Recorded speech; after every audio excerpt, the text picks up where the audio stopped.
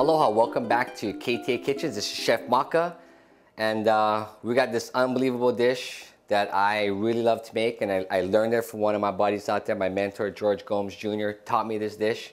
Um, it's a tiger eye sushi, done tempura style. It's got a crispy exterior and a, like a super flavorful center. Okay, so here we go.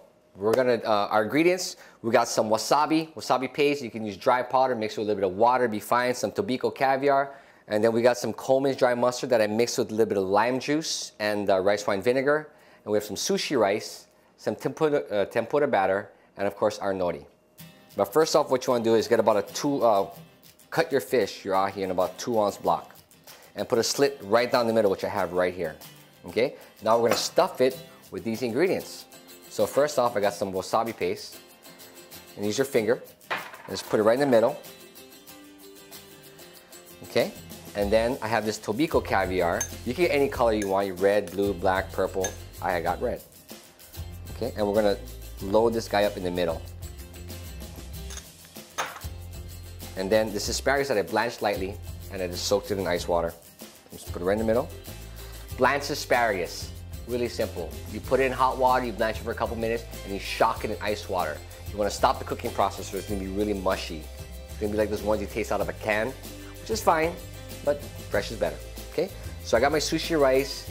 I've done this with a little simple white rice that I mix with a little bit of sugar, salt, rice wine vinegar. But before I want to roll, I want to make sure I get everything. So I make sure you cut or rip your nori into the size of the fish. You notice that right there? and have it next to you and have some water so you can grab the rice because if you with a dry hand, it's gonna stick all over your rice everywhere, okay?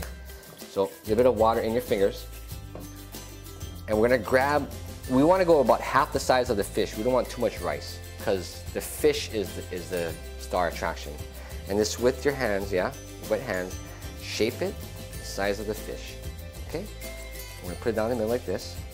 Dry your hands now because you don't wanna get the nori all wet and your nori down the bottom, center, roll your fish right over. And to seal it, I just put a little water right at the end. You can make these in advance, you know, let them sit, you know, in someplace cool, your refrigerator. I made these, you know, like five minutes ago. They're good for maybe half the day, but you know, you, you can't do it overnight. Okay, so let's heat our oil.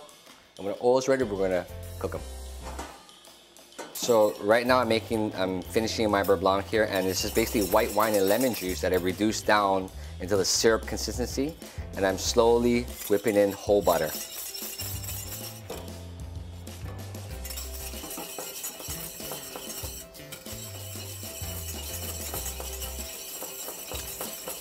When we, uh, the consistency we want is when it coats the back of a spoon, it'll be ready. Sauce is nice and warm. Um, it's important that our sauce is warm. If it's cold, the butter is just gonna firm up and you'll have firm butter, which we don't want. Now, remember that mustard and that lime juice and that rice wine vinegar? Here we go, okay? Just have a little bit of time. If you add too much, um, it might not be good. You know, you might it might be too spicy. If you guys go to a Chinese restaurant, you have that, you know, that, that Chinese mustard. We kind of recreated this Chinese mustard here. That's all we did. And we're gonna fold this in to our beurre blanc. So as, as spicy as you want it to be, it's really up to you, okay? Now I'm gonna taste it. Pretty good, more spicy. And I think our oil is ready, so we're gonna go into our pan with our oil, okay? So here's our fish, and here's our my tempura batter. And my oil is, you know, on a medium high heat. I can see a little bit of smoke coming out. Even if it's too high, turn it down. If it's too hot, take it off the heat. Here I go. Just roll the tiger eye sushi into your tempura batter and then slowly float it in there, okay? Let me wash my hands real quick.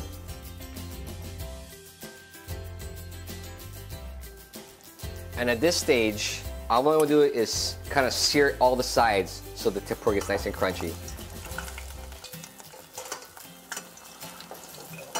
And we want it to be like medium rare to rare in the middle. All we want is this crunchy exterior.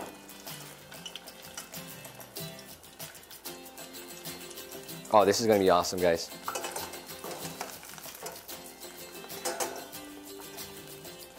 Okay, here we go. It's ready. Well, almost ready. Cool it off a little bit, and if you touch right now, you will get burned. But I'm a professional, so it's okay.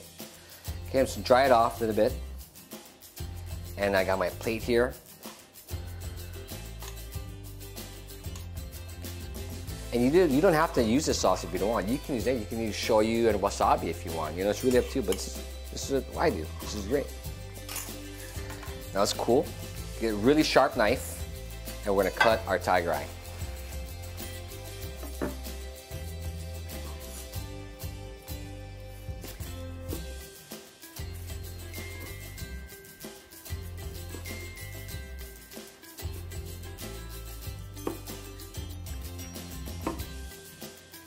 Right, and we're just gonna rearrange it on our plate.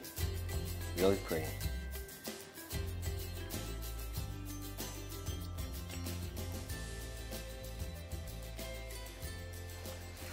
Guys, tiger eye sushi tempura. Amazing.